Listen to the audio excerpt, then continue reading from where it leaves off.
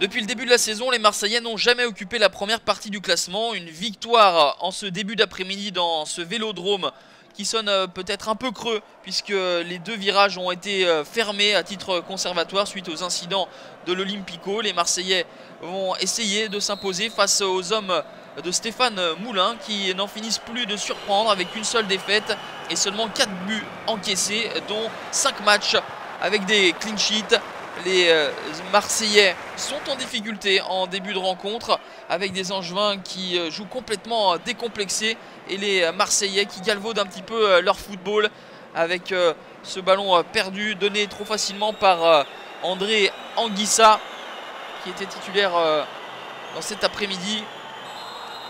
Les Marseillais vont commettre une faute avec Moutou qui est déséquilibré par Rémi Cabella toute cette action euh, symbolise l'apathie des hommes de Mitchell avec des Angevins qui ont traversé tout le terrain avec une facilité déconcertante.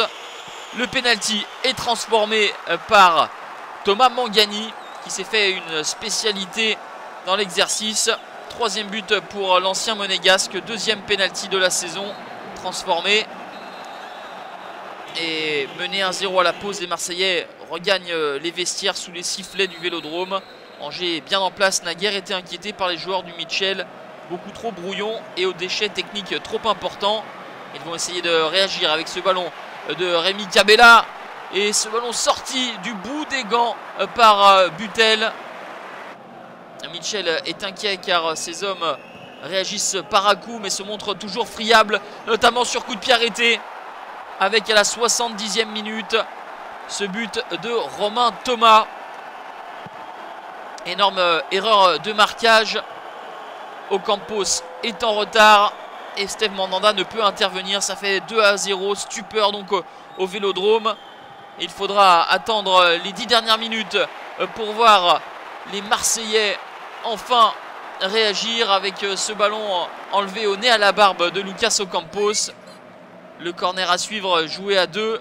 Batshuayi et Lucas Ocampos qui joue bien le coup, qui s'effondre. Mickaël Le Sage désigne le point de pénalty sur cette faute de Faudé Doré. Une faute qui ne semble pas énormissime. Toujours est-il que Michi Batshuayi va avoir l'occasion de réduire la marque à 2 buts 1. Il ne s'en prive pas le Belge. Il inscrit son cinquième but de la saison.